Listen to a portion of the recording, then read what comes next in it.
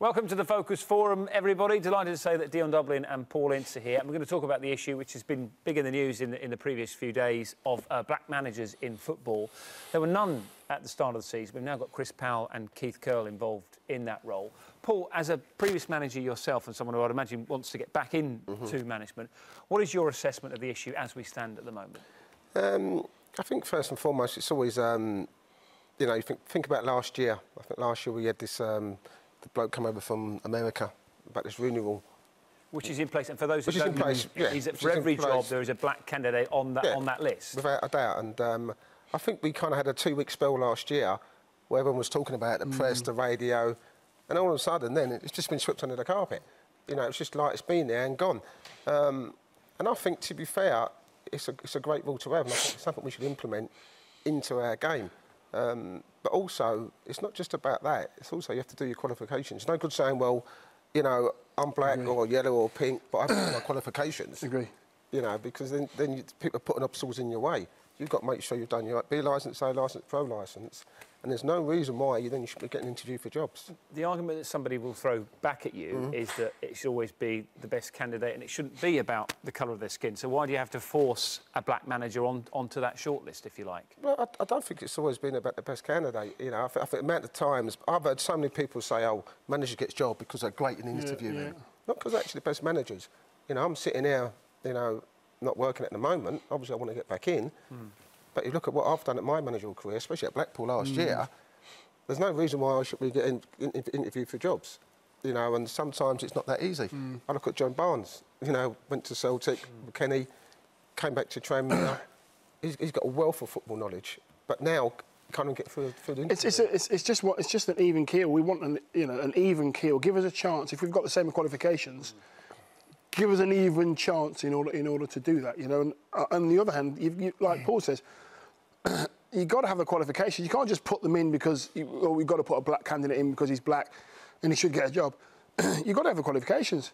You know, you've got to be at the same level as everybody else going for the job. Can I ask you, Dion, about Jason Roberts has been quite forthright on this issue. At the moment, he says things are getting worse. Uh, it's been about 30 years since black players were involved in the game en masse, and I think we are now at the point where we have to go to the government and go open and be public about this thing. Yeah, that's that's incredibly strong from Jay, but that's the way he is. He's a very uh, um, opinionated man. Um, I, I, do think something has to be done, Dan. Yes, I think that we do have to go to the, the, the hierarchy, so to speak, and, and, maybe make some changes so it's a little bit more of an open mind, a little bit um, easier for, for us guys to get in at the top jobs. Yes, we get the jobs that are not quite at the top, but we should be given more of a chance to, uh, to do that or put on the same, like I say, level in order to in order to get those jobs as well. Yeah. Paul, I know you're keen to get back in, into football. Can I ask you this? Do, do, you think that there are jobs that you have got, not got, or interviews that you have not been given because of the colour of your skin?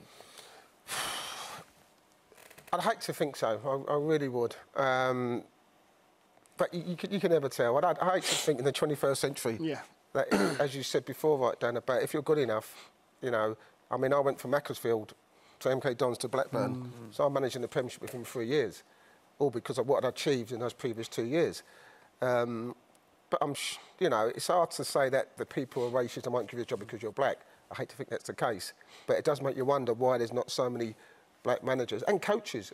And when you think about the players who are losing to the game, you know, the likes of Wrighty mm. and Les and, you know, Sol Campbell, people who work with best managers, play with great players, have a vast knowledge of football, why are they not staying on and doing their coaching badges? Why are they not going mm. into the next level, which is management? Uh, one final point, if I could ask you this. Garth Crooks, again, a man of strong opinion, a call for the Football League chairman, uh, Greg Clarke, to consider his position because you mentioned the Rooney Rule. He didn't bring up the Rooney Rule at the league's AGM, having promised to do so. I mean, these are these are changes which you know, Paul and, and many others would say yeah. have to be even thought about and, and possibly yeah, and, implemented. And, and to what Paul said, if you if you if nothing's been if it's not being spoke about and the issue hasn't been dealt with, your your mind does tend to wander and think, hold it a minute, is, mm. is, is there something there or is there not something there?